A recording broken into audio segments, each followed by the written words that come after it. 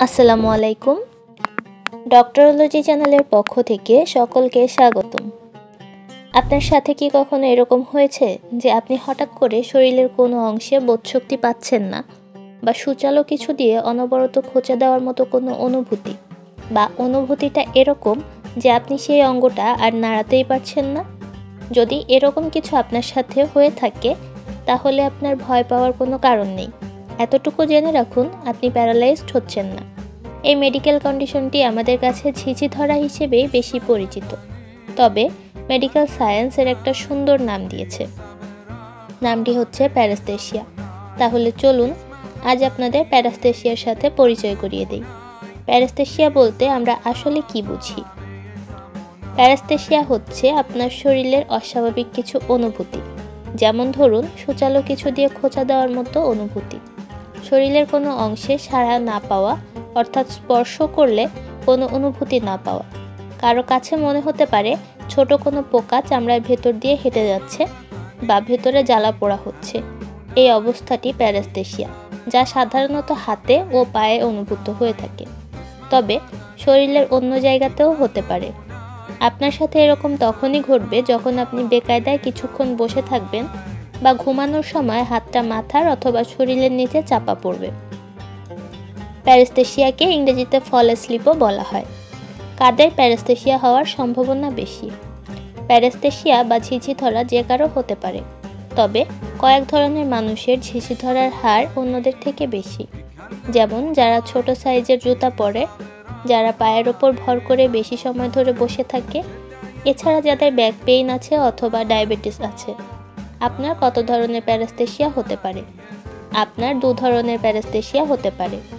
এক, temporary or transient paraesthesia সচরাচর আপনার হাতে বা পায়ে যে ধরনের ঝিঝি ধরে, সেটাই টেম্পোরারি প্যারাস্থেশিয়া দুই, ক্রনিক প্যারাস্থেশিয়া এটা জটিল ধরনের প্যারাস্থেশিয়া আপনার হাতে বা পায়ে টেম্পোরারি প্যারাস্থেশিয়া বা ঝিঝি ধরার কারণ কি?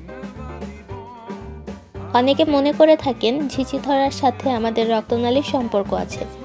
তাদের ধারণা, যখন কোনো অংশে চাপ পড়ে, ওই অংশের সাময়িক সময়ের জন্য রক্ত চলাচল বন্ধ হয়ে যায়, যার জন্য ঝিঝি ধরার মতো অভিজ্ঞতা হয়। কিন্তু এটা সঠিক নয়। ঝিঝি ধরার পেছনের কারণটা মূলত রক্তনালীতে চাপ পড়ার কারণে নয়, হয় সেই স্থানে স্নায়ুর উপর চাপ পড়ার কারণে। এবং যখন চাপ অপসারিত হয়, তখন আস্তে আস্তে আর ঝিঝি ধরাও থাকে না। একটু ব্যাখ্যা করি তাহলে। স্নায়ু হচ্ছে আপনার শরীরের বিশেষায়িত কোষ, যাকে নিউরনও বলা হয়। এরা শরীরের যে কোনো ধরনের বার্তা এক স্থান থেকে আর এক স্থানে তড়িৎ সংকেতের মাধ্যমে পরিবহন করে। স্নায়ুগুলো একটা আর একটার সাথে বিশেষভাবে যুক্ত থাকে এবং তথ্য এক স্নায়ু থেকে আর এক স্নায়ুতে অতি দ্রুত গতিতে পাঠিয়ে থাকে। যে কোনো ধরনের বার্তা শরীরে ছড়িয়ে থাকা স্নায়ুর মাধ্যমে আপনার মেরুদণ্ডের ভেতরে থাকা সুষমাকাণ্ড হয়ে মস্তিষ্কে পৌঁছায়। যেমন ধরুন আপনি আগুনে হাত দিয়েছেন। হাত দেওয়ার সাথে সাথে উত্তাপ অনুভব করবেন এবং সাথে সাথে ব্যথাও পাবেন। কেন পাবেন? কারণ আপনার হাতের চামড়ার নিচে থাকা সেন্সরি রিসেপ্টর সেই উত্তাপ আর ব্যথার বার্তাকে স্নায়ুর মাধ্যমে মস্তিষ্কে পাঠিয়ে দেয় এবং তখন বুঝতে পারেন যে আপনার গরম লাগছে এবং ব্যথা অনুভূত হচ্ছে। ঠিক প্যারেস্থেশিয়াতেও এরকম ঘটনা ঘটে। যখন স্নায়ুর উপর চাপ পড়ে, তখন আর কোনো ধরনের বার্তা সাময়িক সময়ের জন্য মস্তিষ্কে যেতে পারে না। ফলে আপনি কোনো অনুভূতি পান না। যখনই চাপ অপসারিত হয়, আবার সব কিছু চালু হয় এবং এই অস্বাভাবিক অনুভূতি স্নায়ুর মাধ্যমে মস্তিষ্কে যায় আর আপনি ঝিঝি ধরার মতো অস্বাভাবিক অনুভূতি পেয়ে থাকেন, কিছু সময়ের মধ্যে এই অনুভূতি আর থাকে না। কী কী কারণে আপনার ক্রনিক প্যারাস্থেশিয়া হতে পারে? ক্রনিক প্যারাস্থেশিয়া সাধারণত অন্য কোনো স্নায়বিক অসুখের লক্ষণ এবং কিছু সেন্ট্রাল নার্ভাস সিস্টেম সিএনএস এর জন্য ঘটতে পারে, যেমন স্ট্রোক। এক কথায় বললে ব্রেন অ্যাটাক। যখন মস্তিষ্কের কোনো অংশে রক্ত চলাচল বন্ধ হয়, তখন তাকে স্ট্রোক বলে। এতে মস্তিষ্কের কোষ ক্ষতিগ্রস্ত হয়। ট্রানজিয়েন্ট ইস্ক্যামিক অ্যাটাক টিআইএ যদি সাময়িক সময়ের জন্য মস্তিষ্কে রক্ত প্রবাহে বাধাগ্রস্ত হয়, তাকে টিআইএ বলে। অনেকে এটাকে মিনি স্ট্রোক বলে। তবে ভুললে চলবে না, এটা অনেক বড় ধরনের একটা বিপদ সংকেত। কারণ টিআইএ পরবর্তীতে বড় ধরনের স্ট্রোক হওয়ার পূর্বলক্ষণ হতে পারে। মাল্টিপুল স্ক্লোরোসিস এমএস দীর্ঘমেয়াদী অসুখ, যেটা আপনার মস্তিষ্ক সুষমাকাণ্ড এবং চোখের অপটিক নার্ভকে আক্রমণ করে। ট্রান্সভার্সটা এটি স্নায়বিক অসুখ অ্যানক্যাফেলাইটিস মস্তিষ্কের টিস্যু প্রদাহ ইত্যাদি। আরও কিছু কারণ হচ্ছে যকৃত অথবা বৃক্কের অসুখ, টিউমার, শারীরিক বা মানসিক আঘাত। মস্তিষ্কে টিউমার হওয়া। কার্পাল টানেল সিন্ড্রোম সিটিএস এটা অনেক পরিচিত কন্ডিশন যেটা আপনার হাত অথবা হাতের কিছু অংশে ব্যথার সাথে অস্বাভাবিক অনুভূতি হয়ে থাকে। এটা নার্ভাসকে ড্যামেজ করে। এর জন্য প্যারাস্থেশিয়া হতে পারে। অটোইমিউ অটোইমিউন ডিজিজ এটা এমন একটা অবস্থা যখন আপনার নিজের শরীর আপনার নিজেরই টিস্যুগুলোকে আক্রমণ করে, বাইরের জীবাণুকে কি মারবে? উল্টো মনে করে আপনার ভালো কোষগুলোই হয়তো খারাপ।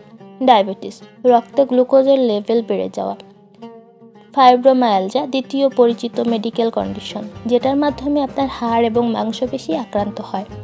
Deficiency of vitamin B one, B three, B six, B twelve. অনেক বেশি ভিটামিন ডি গ্রহণ। কিছু ওষুধের কারণে হতে পারে যেমন কেমোথেরাপি ড্রাগ ইত্যাদি। মনোপোজ এর পর প্যারেস্থেশিয়া হওয়ার কারণ কি? মেয়েদের স্থায়ীভাবে মিউস্ট্রাল পিরিয়ড বন্ধ হওয়াকে মনোপোজ বলে। বেশিরভাগ ক্ষেত্রে পঁয়তাল্লিশ থেকে পঞ্চান্ন বছর বয়সে মনোপোজ বা রসবদ্ধ হয়ে থাকে। মেয়েদের মনোপোজের সময় অথবা পোস্ট মনোপোজের সময় প্যারাস্থেশিয়া হয়ে থাকে। শুধু হাতেই নয়, পায়েও হতে পারে। বেশিরভাগ ক্ষেত্রে এটা দ্বারা কোনো সিরিয়াস কিছু ইন্ডিকেট করে না। তবে শুধু ঝিঝি ধরার সাথে অন্য কোনো লক্ষণ থাকলে ডাক্তার দেখানো উচিত। এরকম অনুভূতি হওয়ার সাধারণ কারণ হচ্ছে হরমোন। সহজ করে বললে হরমোনের লেভেল ঠিক না থাকা। বিট্রোজেন হরমোন, এই hormone central nervous system CNS এর ব্যাপক প্রভাব ফেলে। তাই যখন হরমোনের লেভেল সঠিক থাকে না, তখন ঝিঝি ধরার মতো অভিজ্ঞতা হয়। প্যারেস্থেশিয়ার ক্ষেত্রে কখন আপনি ডাক্তার দেখাবেন? প্যারেস টেম্পোরারি প্যারেস্থেশিয়ার ক্ষেত্রে ডাক্তার দেখানোর প্রয়োজন নেই। তবে যদি এই অস্বাভাবিক অনুভূতিগুলো দীর্ঘ সময় ধরে থাকে আর খুব বেশি পরিমাণে হয়, তাহলে অবশ্যই ডাক্তারের কাছে যেতে হবে। প্যারেস্থেশিয়া কীভাবে ডায়াগনাইজ করা হয়ে থাকে? প্রথমে ডাক্তার আপনার কাছ থেকে পুরো বর্ণনা শুনবেন এবং এরপরে কিছু প্রশ্ন করতে পারে।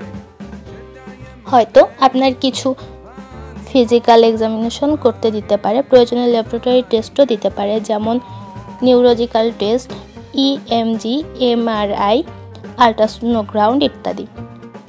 প্যারাস্থেশিয়ার চিকিৎসা কি হতে পারে? প্যারাস্থেশিয়ার চিকিৎসা ব্যবস্থা নির্ভর করে আপনার লক্ষণের উপর। যদি আপনার প্যারাস্থেশিয়া অন্য কোনো অসুখের কারণে হয়ে থাকে, তাহলে সেই অসুখের চিকিৎসা করলে প্যারাস্থেশিয়া থেকে সুস্থ হওয়া যায়। আপনার ডাক্তার এক্ষেত্রে প্রয়োজন মতো ব্যবস্থা নেবেন। কিছু টিপস আপনাদের জন্য। সঠিকভাবে বসতে হবে যেন স্নায়ুতে চাপ না লাগে। মাঝে মাঝে কাজ করার সময় বিরতি নিতে হবে। যদি আপনার দীর্ঘ সময় ধরে কাজ করতে হয়, তাহলে কাজের মাঝে মাঝে চেয়ার থেকে উঠে একটু হাঁটাহাঁটি করে নেবেন। সব সময় ওজন নিয়ন্ত্রণে রাখবেন এবং নিয়মিত ব্যায়াম করবেন। রাতে প্যারেস্থেশিয়া থেকে রক্ষা পেতে আপনার হাতে রিস্ট স্লিপ ব্যবহার করতে পারেন। যদি আপনার ডায়াবেটিস অথবা অন্য কোনো ক্রনিক ডিজিজ থেকে থাকে, তাহলে সেটাকে নিয়ন্ত্রণে রাখতে হবে। সর্বোপরি ডাক্তারের পরামর্শ অনুযায়ী চলবেন। ডক্টরোলজি চ্যানেলের সঙ্গে থাকার জন্য সকলকে ধন্যবাদ।